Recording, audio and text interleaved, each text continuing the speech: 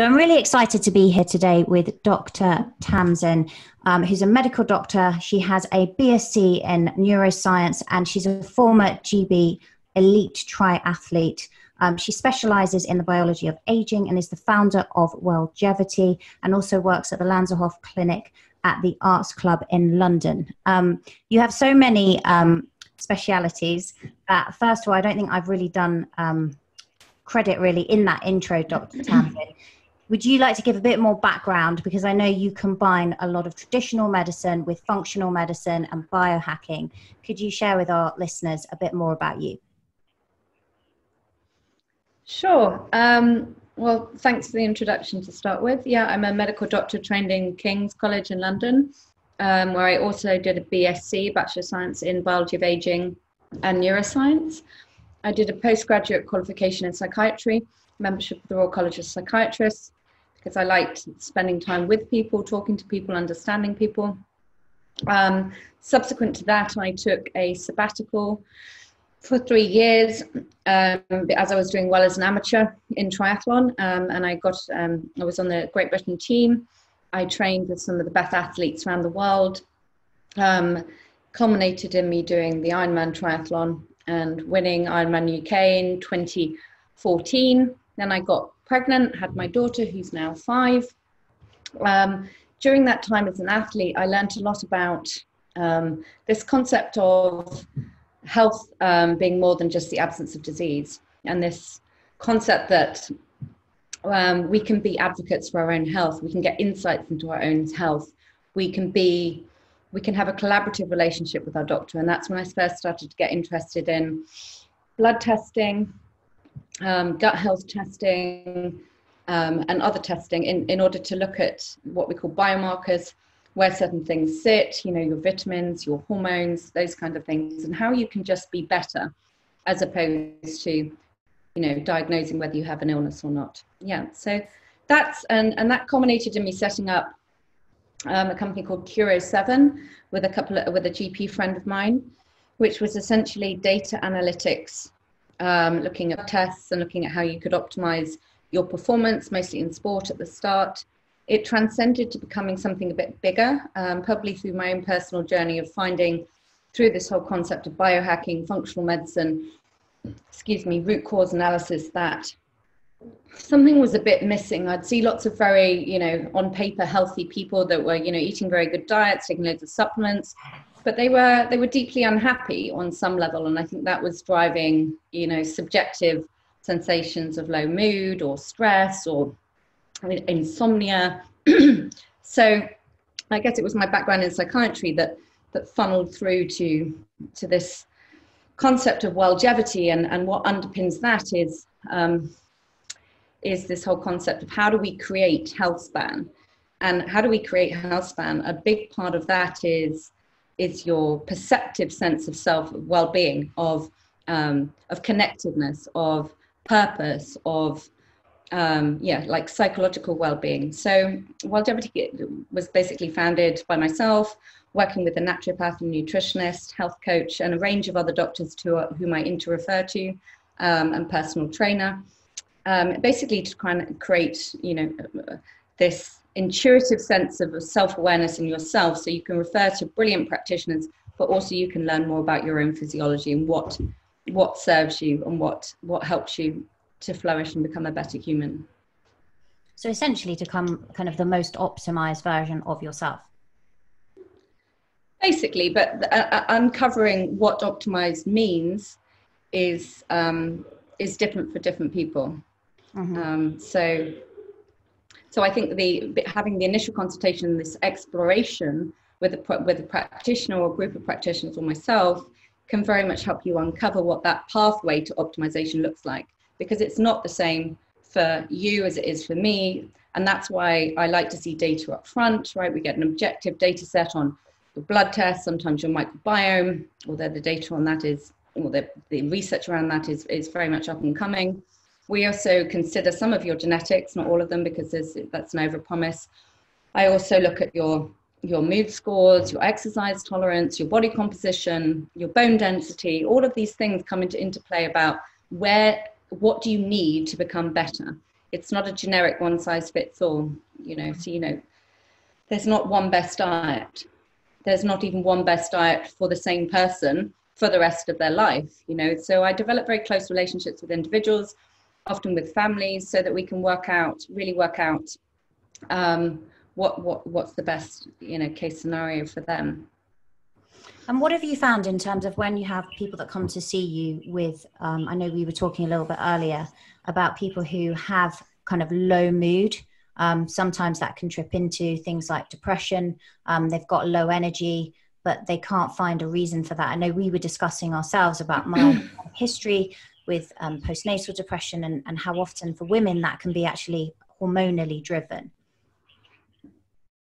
Yes, for sure. Um, and as we did say that that actually for my from my own experience was one of the drivers of what helped what led me to study bioidentical hormones the interplay with hormones and mental health um, and yeah i mean I, when i first started off learning about bioidentical hormones with marion gluck and this dr Sara Gottfried I, I was fascinated between the interplay between the two but in, unless you measure things you don't really know what the interplay is i mean in someone like you the story is um, you know, classically you have massive um, demand on your system when you have pregnancy. So you go into pregnancies with a period of, you know, high adrenal system demand, high stress demand, being a lawyer, you know, you know, really not allowing yourself time for recuperation. And I, I should preempt this by saying that that mindset is can uh, drives the body to the limits right and you mm. can keep up you especially can keep up when you're in your 30s late 20s the body has a lot of capacity then, but it's not until you get into your late 30s, 40s, specifically, you then have huge physiological demands of pregnancy and giving birth that you suddenly end up falling off a cliff. And I see that time and time again. And it's it's very difficult for people. It's certainly difficult for people who are, you know, high achieving individuals because all of a sudden you have no idea why you feel so terrible. And the doc- you go to the doctors and they say, well, you're depressed. Let's have an antidepressant. And then you succumb to this whole thing of, geez, like I wasn't, I'm not a depressive. How did I become a depressive? Surely there's got to be more here. What happened to me? you're yeah. like, I've got this label. I mean, this slap, and you're like, mm. So you know, my own story is is looking at how do we shift the physiology to affect the psychology. And you absolutely can do that. The filter on the world is on your world is dependent on your biochemistry to some degree. Your, and it's a dynamic interplay. It's a dynamic interplay between, you know, the people you come into contact with, the practices you do on a day-to-day basis, you know, the self self-care, which I didn't like as a term, but I'm getting used to liking it um, all of that is a, has a dynamic effect on your physiology, which has an effect on your hormones. So we work in this kind of system, this interplay between the two. But you've got to have some kind of measurement and some kind of you know relationship with a doctor or a practitioner or a naturopath, whoever it is, as long as they're you know credible, because there are some people out there who are not. Um, you can really be guided through this journey. And what I've learned through my own practice is that this is hugely valuable for people. It's just being heard, having someone to reflect stuff off, having data which supports how you feel, and you can see changes in by different interventions. Um, that's that's hugely valuable.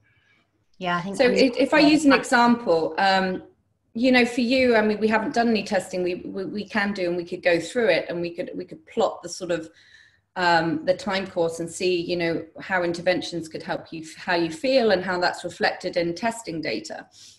Um, you know it's most likely you'd be low on dhea a pro-hormone.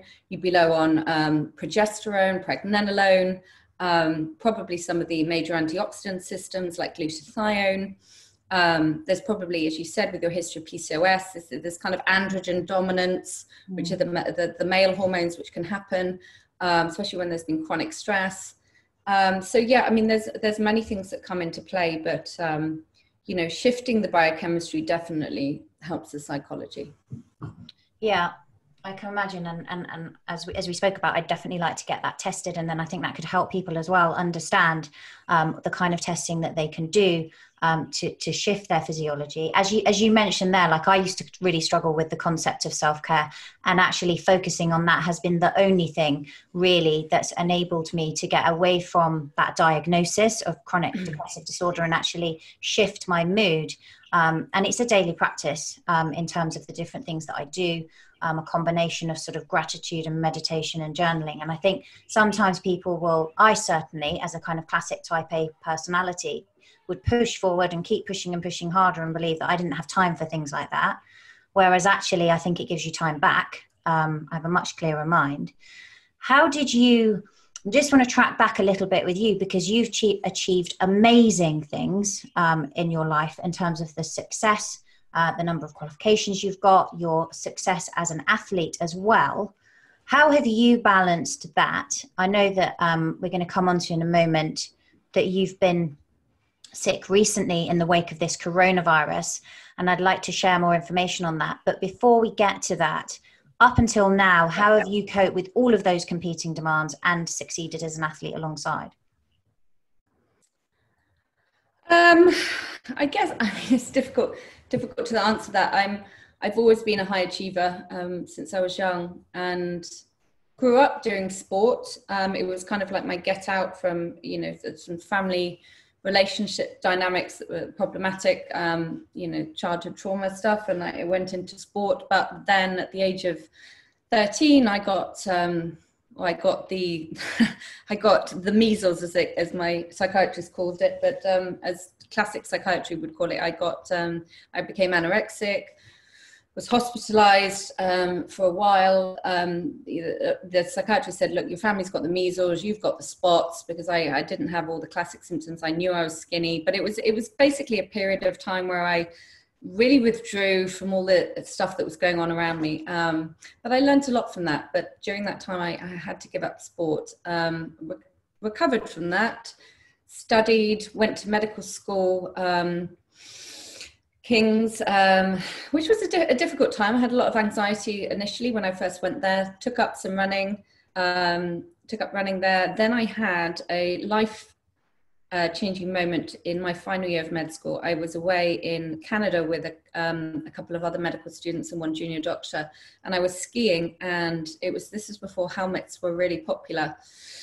And we were on a new piste. I was skiing, and I went over a mogul. And uh, long story short, ended up having a contre-coup, so falling on my head, falling back, sat up on the slope. Said to the medical student that was with me, um, "I feel very sick. I dreamt I dreamt this." And then I passed out, basically started fitting on the slope. He essentially did CPR, saved my life.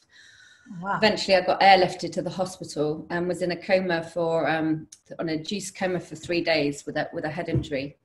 Now, um, the sequelae from that, um, where the conventional medical system had no answers for me other than to medicate me for the for the symptoms, which were the depression, insomnia, I just felt a um, memory. I couldn't focus. I couldn't concentrate. I went from being in the top percentile of my year at med school to being like bottom percentile, and no one would listen. They basically thought I was malingering because now my MRI scan of my brain was normal.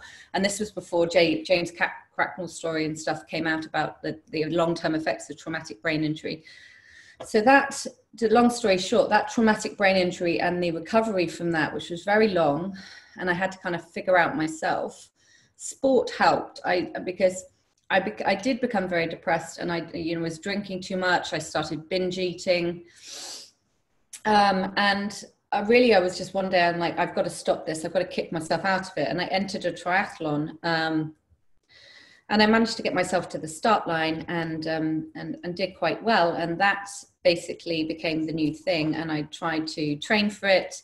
I did quite, uh, continued to do quite well. I was finishing my junior doctor years at that time, which was a battle. There were lots of things that, that, that kind of went up and down, but triathlon um, really helped to, to kind of focus me and, and give me some sense of achievement and, and almost like validation. I, I didn't really know how to best put that, but um, long story short, I ended up winning, winning the World Age Group Championships, which was essentially an an amateur um, um, triathlon championships in Australia in 2009. Was given the opportunity to join the GB team, be coached by a world class coach. So um, I got, I was awarded a sabbatical from the London Deanery, and I went to Thailand and trained with a world class coach for um, best part of a year, and yeah, and and spent that time literally um, out of the NHS system and just and being an athlete. But I also that's one at the time when I set up this this company, which was essentially offering private blood tests to um, initially to athletes because my own experience was well why if i'm doing the same training as her am i getting different results and so i started to think about biomarkers that we knew influence performance like iron b12 magnesium you know sex hormones um, you know like the effects of the contraceptive pill on on energy on your microbiome on your b vitamin metabolism all of that became of interest to me. So that that company kind of became a consultancy and um, I, I, saw like a niche people were very interested in it. Then after my um, triathlon professional triathlon years in which i was basically supported and sponsored and also made a little bit of money from this company i joined another chap who changed the course of my life um, was a guy called dr jack kreindler who runs the center for health and human performance in Harley Street, and he kind of took me under his wing and mentored me, and I kind of felt like I had um, another another voice, as it were, because you know in the medical profession you you're very much told to toe the line, and if you step out of the line, you, you you're reprimanded. And I was always a kind of you know walking off piste person, going, well, hello, that didn't make sense. Why don't we ask that question? That that was kind of me. Um, but yeah, so I, I worked with Jack for quite a while. He's still a friend, a close friend now, um, even though I'm not at, at, CHHP anymore. They're very, they're very sports and performance focused. But Jack is my kind of doctor, and he's really helped me through this whole COVID thing, which we'll come to. So how do I cope with it all? I probably don't. Is the answer. I've done, I've ended up doing a lot less exercise than I used to because what I noticed was because my my mind is so our minds are so powerful often i would drive myself to do the exercise at the expense of everything else. And after a period of time that stops working and you start getting sick. So i did a i did the london marathon after having my daughter i think she was six months because i'm like i've just got to do a flat marathon i've got to go sub three. Um, i think i did 248 and um, yeah and and then i started to get sick more and more like just little coughs and colds and i'm like hmm something's not happening not not right here. So i basically stopped stopped running um, took up yoga started doing more saunaing doing more restorative exercise and um, and things improved. And a good friend of mine dr tommy wood um, has always encouraged me to do some more strength work because i'm you know my default is endurance exercise and we know that endurance exercise in and of itself is probably not good for us mm-hmm. especially mm-hmm. if done excessively uh, especially as we age so it's because a le- it's a learning curve right and um, mm-hmm. yeah no i was just going to say yeah yeah it is it is a learning curve and i think that's the thing as well as people often default don't they to the form of exercise that they've enjoyed for so long and push themselves um, and I mean, some of the science reports that I've looked at suggest that actually going over an hour in terms of endurance activity can start to be counterproductive in terms of heart health um, and things like that. So, are you now, in terms of your exercise routine, do you stick to sort of restrictive, not during this period where you've been sick, but more generally, or do you still um, compete at all? I don't. I don't compete at all. Um, I tried. I, I dipped my toe back in the triathlon world um, uh, a couple of years ago and just felt like I was going through the motions. You know, did a few half Ironmans and and runs, and I kind of just felt, you know what, I've done this. I'm never going to be as good as I was. I can mm. still do it. I could prioritize it. I could still train for it, but um, I just um, I did. It's just not there within me any anymore because I see its depleting effects um, and I see the consequence in people that try and do it all long term from a medical perspective. They're the people that come to me and said, Well, I spent 10 years doing this, being a city banker and a, and a triathlete and a you know, a dad, and and now I can't do it anymore, or I'm getting sick all the time, I'm getting depressed, or I've got no sex drive, or you know, all of those things they pop up after a period of time, and you know, as much as I love the endorphins that I would get after achieving something you don't think is possible, or going out on long runs and stuff, I know that from a physiological perspective, and even from an ancestral perspective, think of it like that: how we evolved, right? We had long periods of you know strain but then we had long periods of hibernation, recovery, and downtime.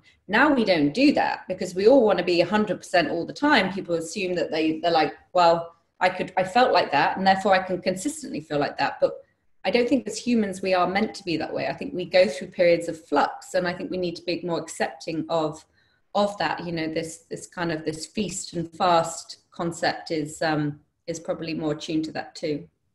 Yeah, I agree. And I think I find what I found as well with women is I think that, um, you know, similar for me. When you have your first child and you realize how much that experience depletes your body, um, I think it's like the first wake up call. So women maybe are a bit ahead of men, as we often are in terms of that, I suppose, maturity in a way. But you start to realize that the constant pushing, pushing, pushing maybe isn't the best thing for you in terms of aging well. Um, whereas men, I find, like with clients of mine, they're, they're still kind of pushing into their late 40s, early 50s, and then maybe realize that actually they can't continue. And, you know, the triathlons, the Ironman, etc., are, um, are possibly causing them too much.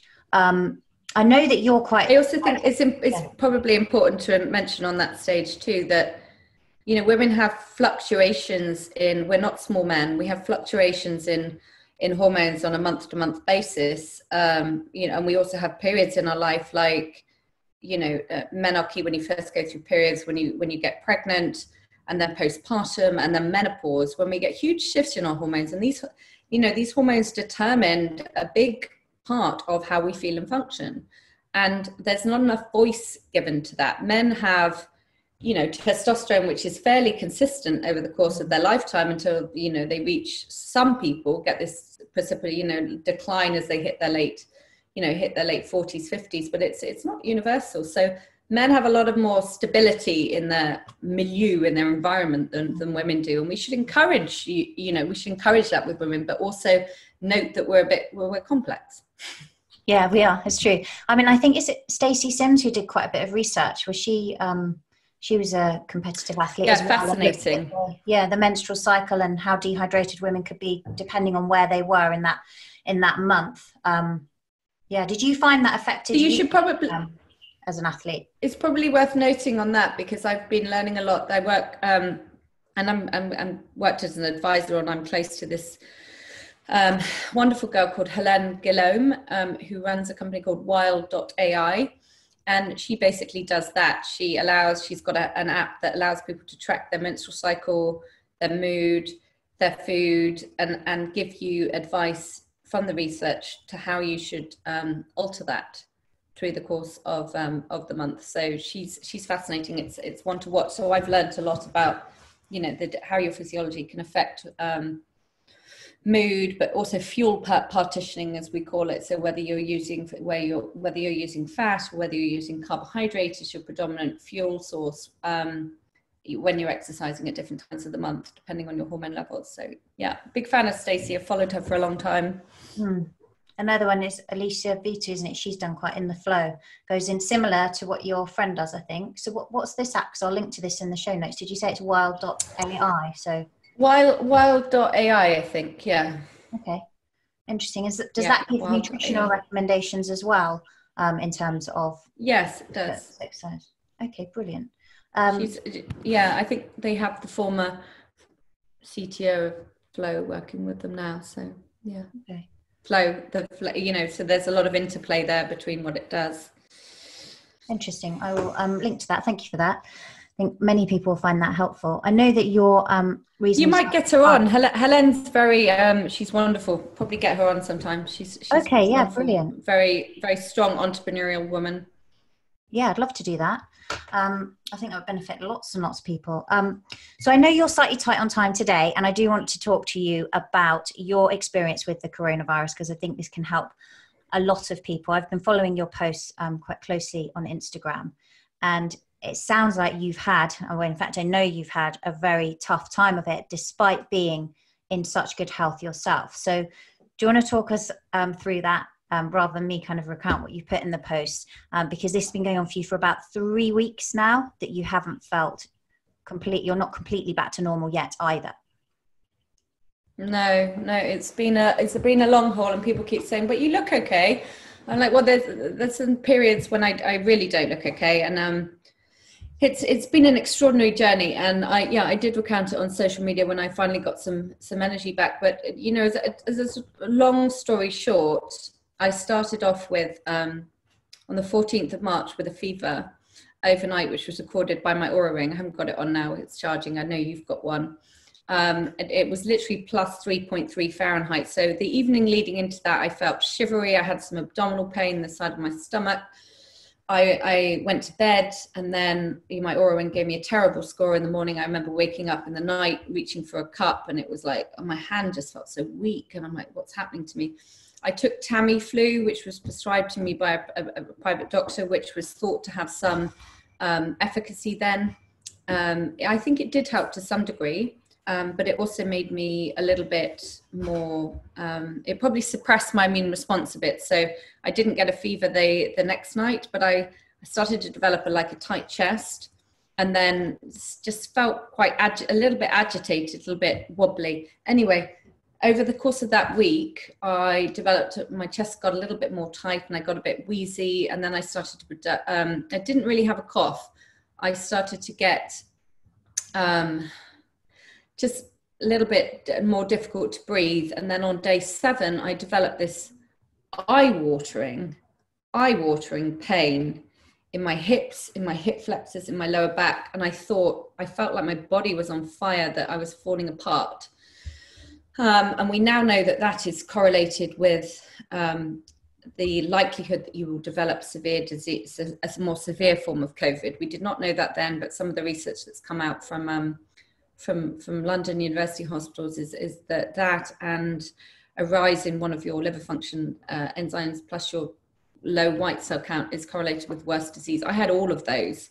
Um, I didn't like. Would I have panicked more if I knew that? No, but I would probably have, have, have sought to go into hospital at that point in time. So this pain in my hips and my lower back. I rang NHS 111 in the middle of the night. I was alone, I was alone with my daughter, and they were like, well, we can give you a prescription of a stronger painkiller. So I took some codeine phosphate and it made it a bit better. Then I, my chest just just got worse. Basically, I was t- I was out of breath walking up a flight of stairs, having a shower. Um, I started on an antibiotic called azithromycin, um, which helped, um, and also I did a couple of days of that malarial drug that you probably have heard of, um, hydroxychloroquine again all private prescriptions and i can't advocate for their for their use. They need to be overseen by a medical professional. Um, i did not have a good reaction to hydroxychloroquine it um, it made me feel uh, give me tinnitus in my head. It made me feel very wobbly with my blood glucose. I literally thought i was going to pass out. I didn't know all these things at the time because i wasn't given that information. I had to kind of figure it out myself. Um, so that was all going on and then i started to feel a bit better sort of between seven and uh, between 12 and days 12 and 14 then i went out for a long walk. Um, i was on the phone. I also took a supplement called dmae which i do take occasionally for to help brain and mood. And i think it lets you dig into your resources a bit too much. Um, so i did a bit too much came home felt a bit tired went to bed next morning I woke up with a, um, a really pounding headache and a sinus infection, um, which I've never had a sinus infection. And started to, I spiked a fever again, was sweating. Uh, um, and basically I was back, back where I was um, with this sinus infection and, and my chest was increasingly tight. I, I, called a few doctor friends of mine. I started another couple of days on this hydroxyquinone because even though I've had a bad reaction, we do know that it stops, it can stop the effects on the lungs. So while it can have side effects, it can stop the virus like hitting your lungs. So um, my chest did get better, but then I developed um, um, this kind of widespread like muscle fatigue and weakness, which I still have a bit now. I mean, literally, I can do very little. Um, I might not look the I'm, I'm sick, but I'm compared to how I normally am, I'm still struggling like a little bit to take a full breath. I still, you know, getting a little bit, um, I still feel weak. I still feel shaky. Then I, as I said to you offline, um, I thought I was getting a bit better. And on Tuesday, I developed this, what they thought was anaphylactic reaction. Like my immune system is just kind of gone crazy. My, I, I started to feel quite weak again. I was just out in the, in the garden with my daughter. My throat, my um, neck swelled up, my chest swelled up, went red. Um, my face went red, swollen, like my whole arms went, and I was like, this doesn't feel right.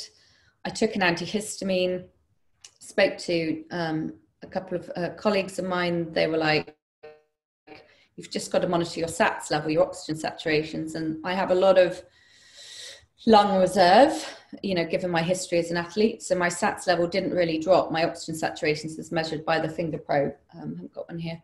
So anyway, I ended up going to hospital because I felt genuinely terrified. Um, and even though I could breathe through my anxiety, I thought this is this is like nothing I've ever experienced. I literally didn't feel like I could stand. Um, anyway, went to, to the to the A and E and um, in in Devon where there's uh, not much coronavirus at the moment compared to London. They checked on my lungs and my um, uh, my oxygen saturations. My blood pressure was very low. My heart rate was high, but my lungs were essentially, apart from some crepitations in the left upper lobe, were, were essentially clear. Um, and actually, I, I don't. I, I, felt like they couldn't wait to get rid of me once they found that my lungs were clear. They gave me another dose of antihistamine and told me to go home and rest. Um, but you know, I guess what the essence is now. I'm like at day 24 now. I want people to understand because I'm I'm also dealing with this as a doctor with other clients in various people that had it we do we can't predict the effects of this virus. It has such widespread effects on different people. You know i've had young people who are you know in their 30s who have developed you know severe chest pain um, but it hasn't descended into a pneumonia um, they think i did have pneumonia which is probably one of the reasons i've been affected so badly. I also um, uh, the this persistent muscle weakness and this immune system dysfunction is can all be part of this this post-viral or this this this whole viral syndrome that that people do seem to get. Um, so listen, it's it's been it's been like I say pretty frightening because we we don't know what can happen, and I still feel, as I said, you know, pretty pretty wobbly with things.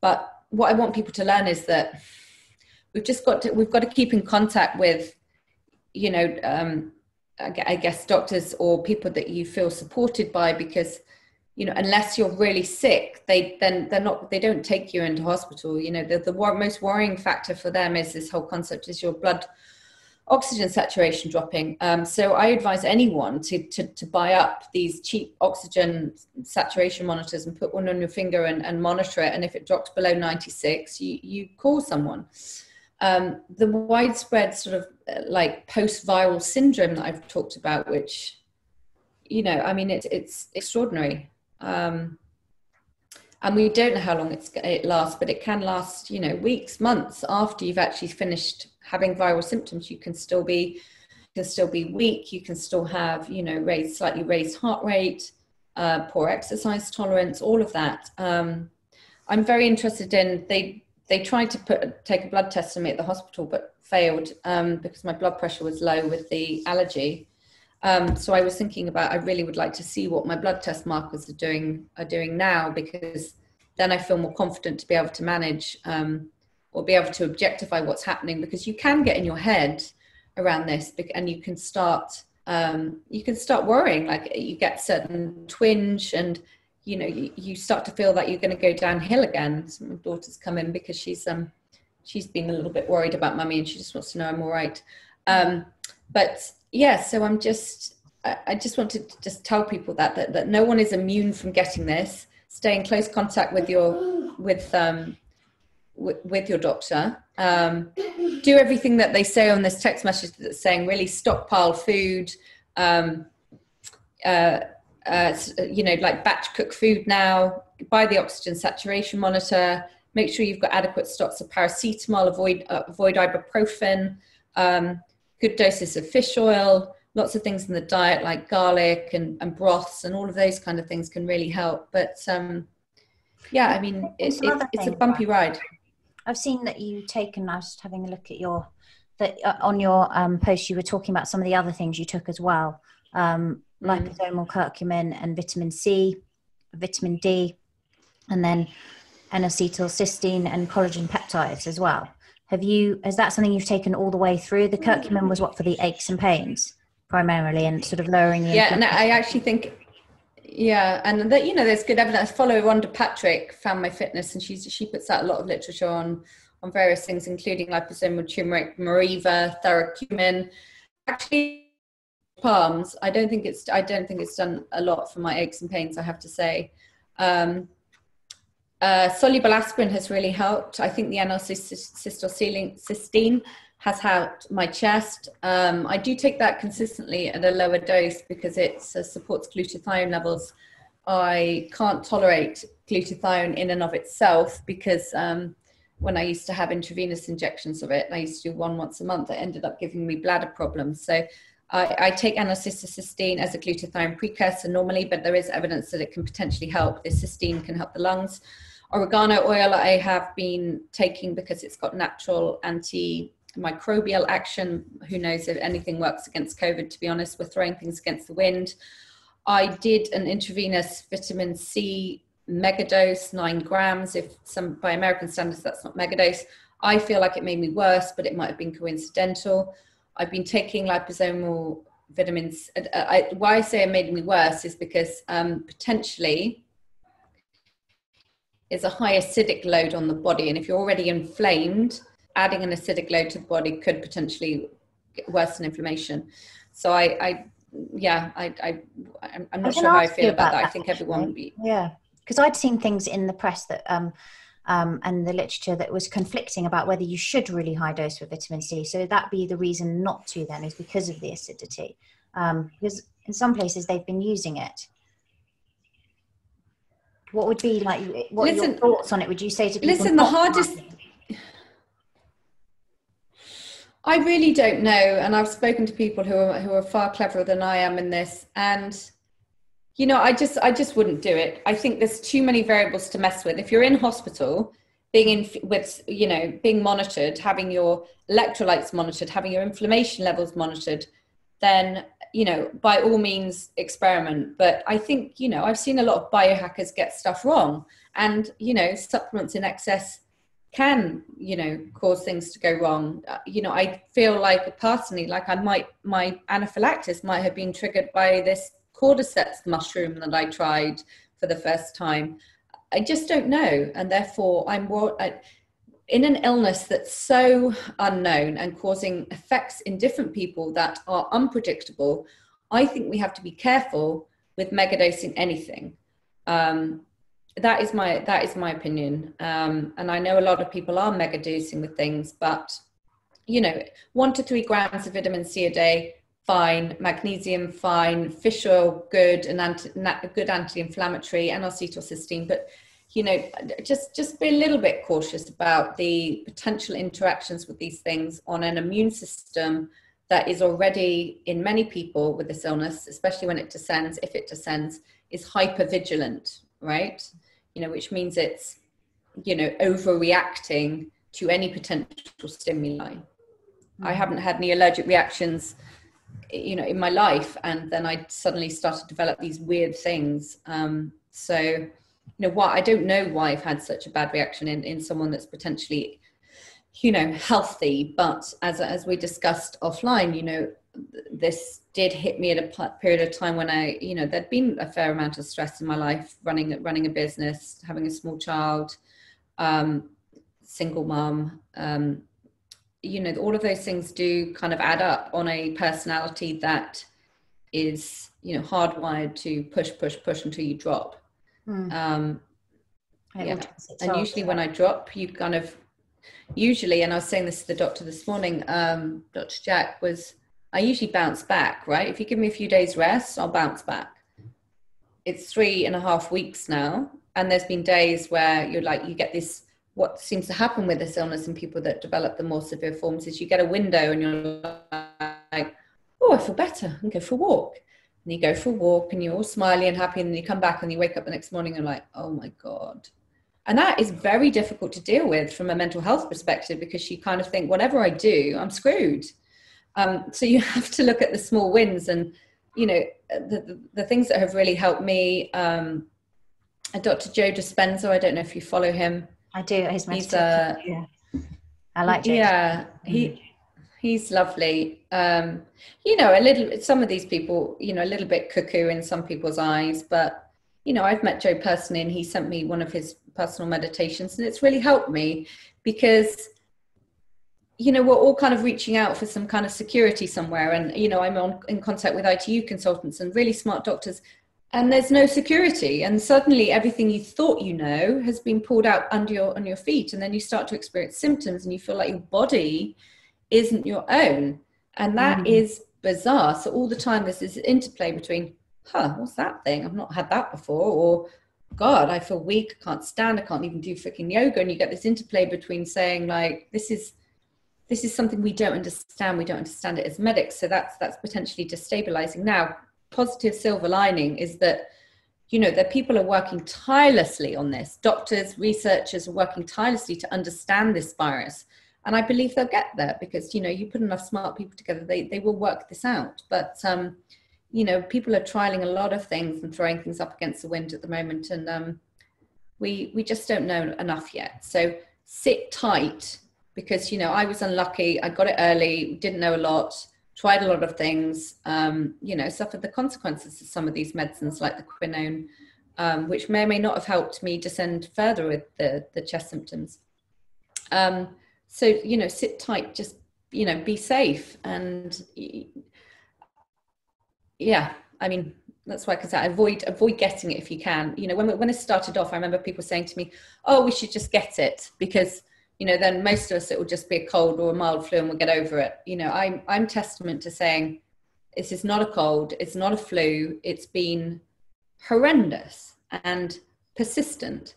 But you know, hopefully coming through the other side now and I'm having the news that my chest is is more or less clear is is a good thing. But you know, don't jump up and start going back to your normal life because um, as I try to, because it, the, the virus sits around a lot. It can reactivate, the affects your immune system, triggering off inflammation, triggering off blood glucose fluctuations.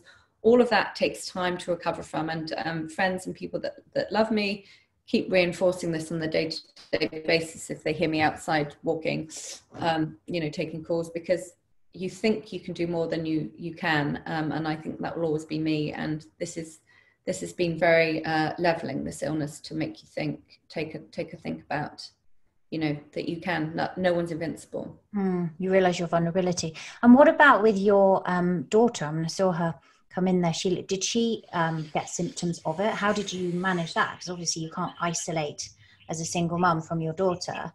Um, i know they've said that it seems to be less bad in the young. What did you find happened with her?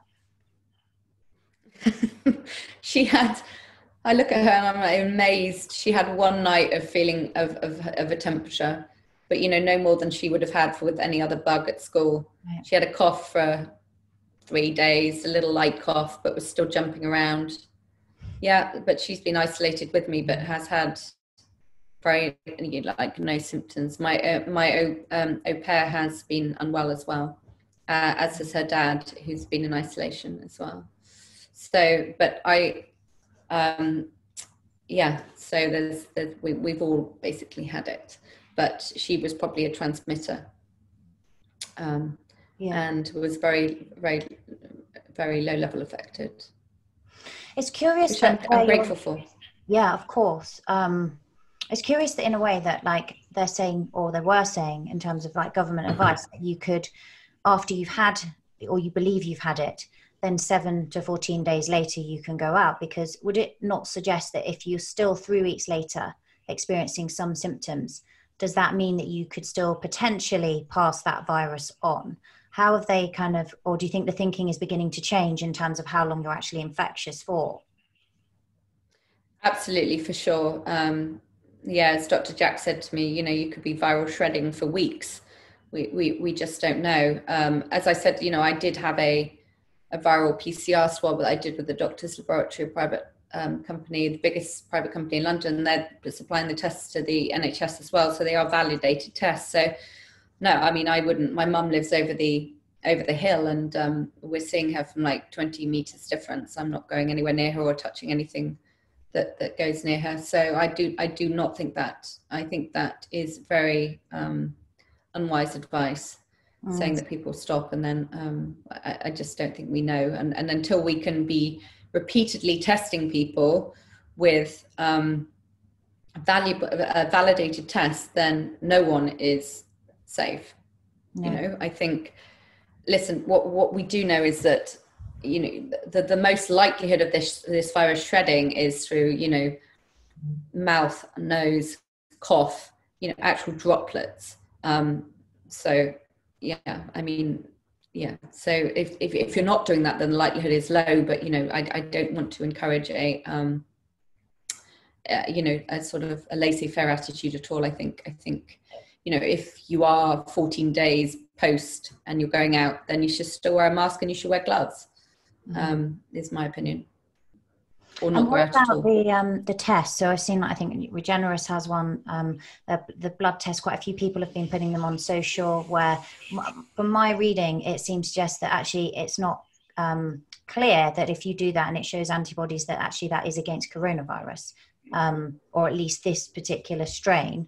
What are your thoughts on that? Because I know quite a few people have been posting about this blood test there's there's a variety of different blood tests and yeah I'm, i mean i'm going through this in my own um, in my own business and my own um, personal like how which tests to do um, because some of them are you know known to be hugely unreliable. Is it a dutch test? You know should we do the one from from from the netherlands? Should we do one from germany? Should we do the one from china?